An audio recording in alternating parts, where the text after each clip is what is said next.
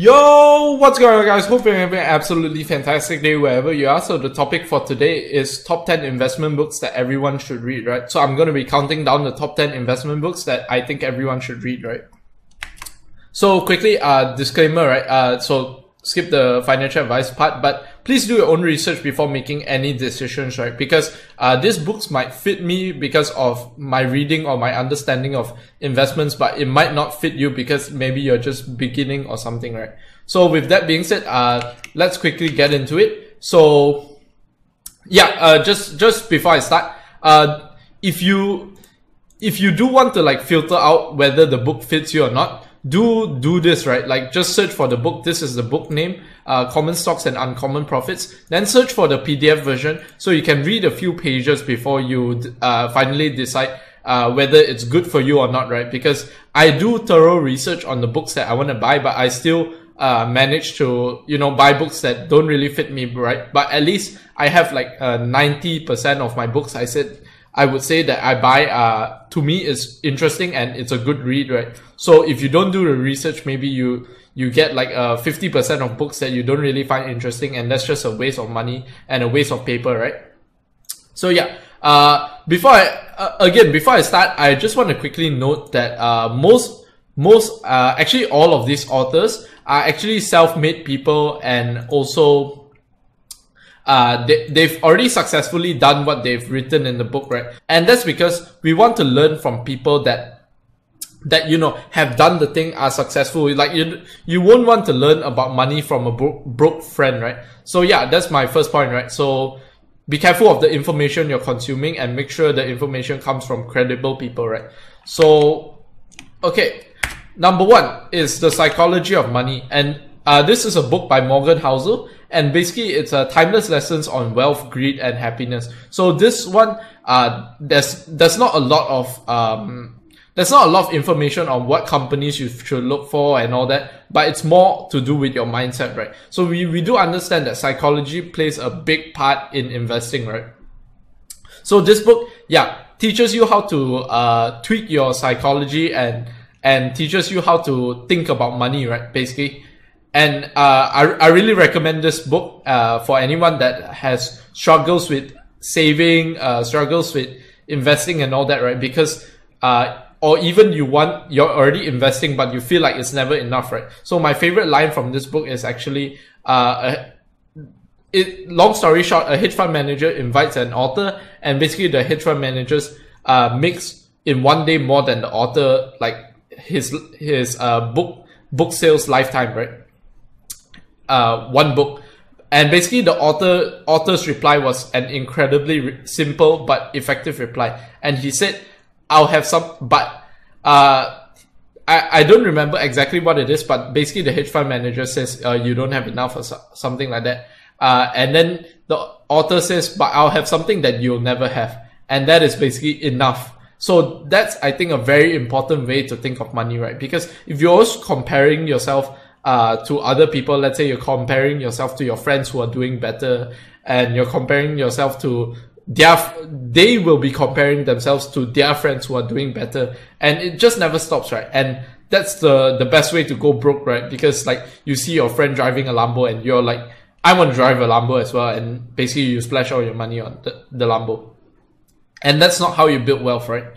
So yeah, uh, point number two is uh sorry point number two. I'm so used to it. Book number two is the Dhandho investor right? So basically the Dhandho investor is a book by Mohnish Pabrai uh Pabrai and this guy runs Pabrai funds right? And basically what the book aims to teach you is a low risk value method to high returns right? So he is a value investor so that's why he's talking about this. But basically the the the cuff uh, and the main point of the book is basically uh, low risk and high returns, right? So because people usually think of uh, uh, risk as in the higher risk I take, the more chance of return I will have, right? And that's generally true. But uh, there are a lot of opportunities which are incredibly low risk. Uh, not financial advice, but in my opinion, right now, an example would be like Alibaba. And I don't know whether I'll have a video out on that, but uh, if I do, you can always search my channel, search Alibaba on my channel, and and maybe you can see my explanation on uh, why it's cheap currently. So yeah, uh, next is a book by Ray Dalio. So basically, Principles by Ray Dalio. So this book aims to teach you how uh, life principles and also work principles, but I would say they're basically the same thing. Uh, basically, aiming to teach you how to be a better investor, how to be a better person in general. Right? It talks more about how to become a better person in general than investing, right? Uh, and basically it goes through some of his uh, past experiences. And this really, this book really coincides with me because uh, I want to teach uh, whoever's watching this video as well, right? That I can give you information, but you have to decide whether this information is good or bad information. And Ray Dalio says that repeatedly in his book, right? So yeah, that's why I really like the book and really respect the book. So the next is the most important thing by Howard Marks. So uh, basically, this book teaches you about. I know, I know the title is the most important thing, but there are multiple most important things, and this is a a purely uh, investment book, right? It teaches you how to uh, think about investing. It teaches you what things you should look for in good investments and all that, right? And also, it's uh, common sense for the it, it says uncommon sense for the thoughtful investor, right? But I, I would say it's probably common sense, but, uh, you know, common sense is uncommon nowadays. So yeah, incredibly, uh, incredible book. I would rate this maybe top five in this list, as well as the psychology of money. Also is a top five book. Uh, the, the rest maybe they are on par or something. All, all incredible books, right? If not, I wouldn't be recommending it. So the next is, uh, Mastering the Market Cycle by Howard Marks again. So, uh, it's it's basically getting the odds on your side uh, according to this, right? So maybe this would be better. Basically, you want to decide uh, which part of the the cycle you're in. Uh, I, no, no, this is better. So basically, you want to decide which part of the cycle you're in, and in in the cycle there are micro cycles, right?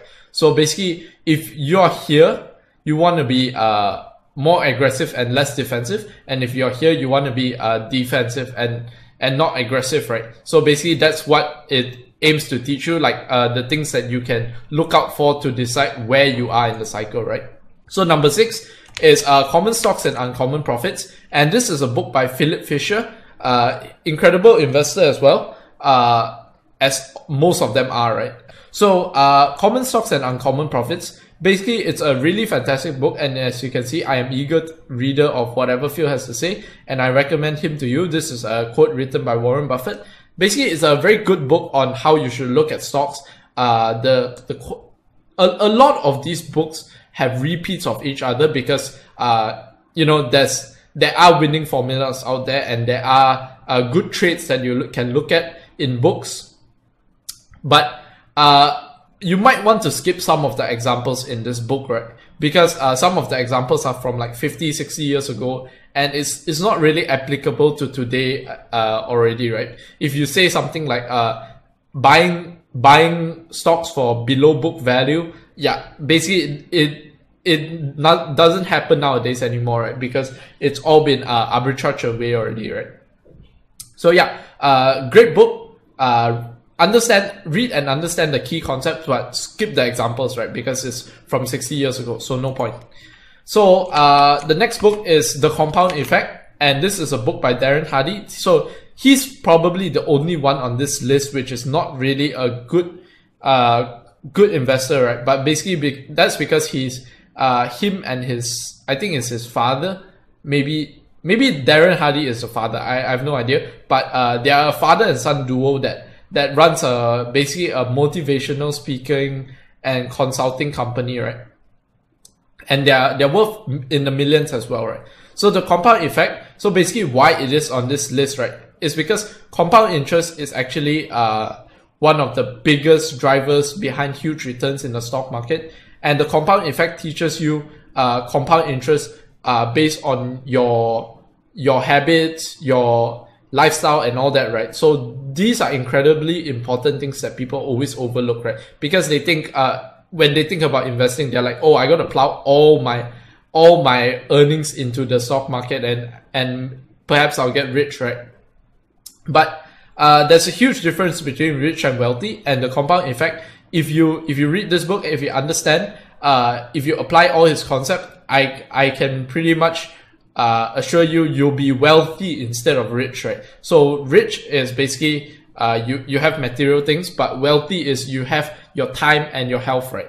And that's incredibly important, right? Especially your health and your your money, right? Those are two things that we have to participate no matter who we are. Even if we're not interested, we have to participate, right? So the next is uh, Zero to One. This is a book by Peter Thiel, uh, Peter Thiel with Blake Masters. And basically, if you don't know who Peter Thiel is, uh, he's the he's the ex CEO of PayPal, and now he he runs Palantir, right?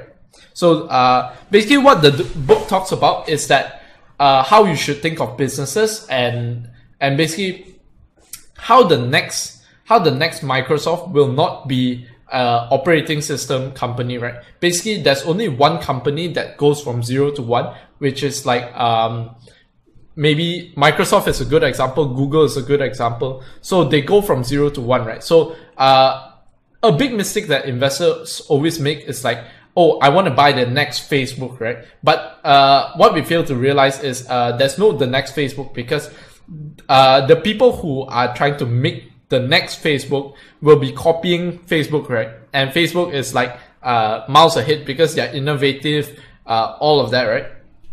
So yeah, uh, great book. So I recommend it. But, so the next one is uh, the little book that beats the market. And sorry, it's right here. And this is a book by Joel Greenblatt, another one that uh, another legendary investor that runs uh, Gotham Partners. And basically, this book is an incredibly good book for beginners, right? Actually, uh, beginners will find this book very, very easy to read and very easy to understand. But uh, even if you're advanced and you've never read it, I do recommend that you read it also, right? So nothing much to say about that book. And the last one is Investing Against the Tide. And basically, this is a book by Anthony Bolton. Uh, and he talks about uh, lessons from, from a life running money, right? So actually, I didn't know who he was, but um, another investor that I really uh, respect, Peter Lynch. Uh, he's not he's not on this uh, list because I actually this list is what I could fit in. Uh, I'll have another few lists coming up in in future, right?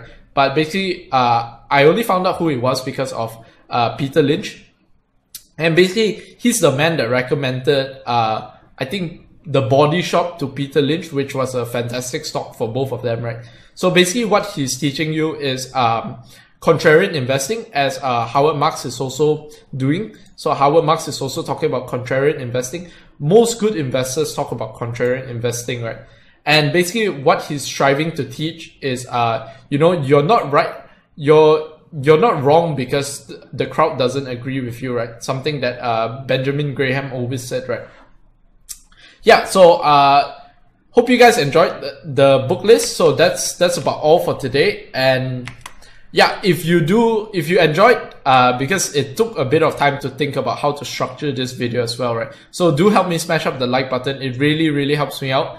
Uh, takes you like one second, right? So, and share with friends and family that you, you think might find this uh, video interesting. Uh, maybe they are looking for some investing books to read. You can always share it to them, right? Uh, would save them a great deal of trouble because uh, I personally know that when I'm searching for books, right, it's actually very hard to find good books because there are so many books written by people who never done it, right? And basically, those are the books that we want to avoid, right? Who wants to learn uh, about about you know Warren Buffett from not Warren Buffett, right? Some somebody writes about Warren Buffett. There's like two thousand books about Warren Buffett. There's uh you know people who think they understand him, but they don't actually understand him because they're not him. So with that being said, uh, thank you very much for watching to the very end.